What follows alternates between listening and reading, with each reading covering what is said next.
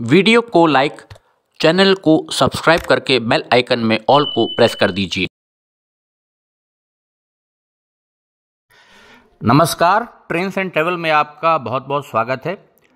जैसा आप सब जानते हैं, इस समय सभी की नज़रें अयोध्या पर लगी हुई हैं, क्योंकि 22 जनवरी को वहाँ पर प्राण प्रतिष्ठा का कार्यक्रम है और भगवान श्री राम लला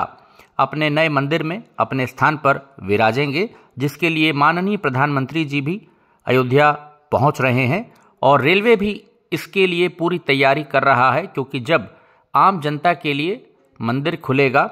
प्राण प्रतिष्ठा के बाद 22 जनवरी को वहाँ पर जनता से अपील की गई है कि वो ना पहुँचे सुरक्षा के मद्देनज़र, जिसके बाद वहाँ पर लाखों श्रद्धालुओं के आने की उम्मीद है, जिसके लिए रेलवे ने भी कमर कस ली है। और इसी के चलते बाराबंकी जंक्शन से अयोध्या जंक्शन होते हुए अयोध्या धाम के रास्ते जो वाराणसी का हमारा रेलखंड है, इसकी डबलिंग का काम जो चल रहा है, दोहरीकरण का, वो भी अंतिम चरण में है। जगह जगह इस समय अलग अलग स्टेशन पर मेगा ब्लॉक लेकर के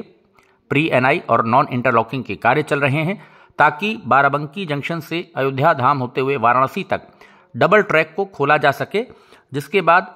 कई सारी स्पेशल ट्रेन्स एक हज़ार के आसपास स्पेशल ट्रेन्स सौ दिनों तक रेलवे चलाएगा अयोध्या के लिए देश के विभिन्न स्टेशन से अलग अलग कोनों से, और साथ ही साथ मीडिया में भी कई बार आ रहा है कि प्रदेश की राजधानी लखनऊ से और हमारा जो गोरखपुर है और प्रयागराज जंक्शन से अयोध्या के लिए मेमू ट्रेन का संचालन रेलवे करने पर विचार कर रही है।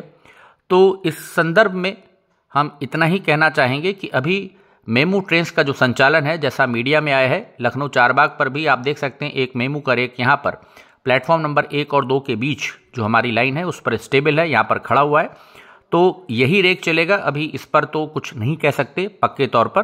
लेकिन लखनऊ, चारबाग और साथ ही साथ हमारे जो एनईआर का गोमती नगर स्टेशन है, यहाँ से गोरखपुर जंक्शन से और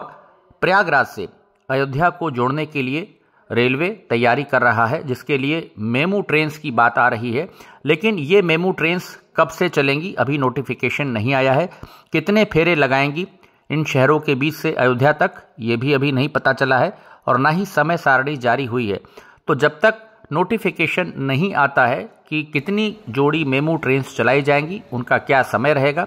तब तक थोड़ी प्रतीक्षा करिए। और मुझे लगता है 22 जनवरी या उसके बाद मेमू ट्रेन पर कोई नोटिफिकेशन आ सकता है।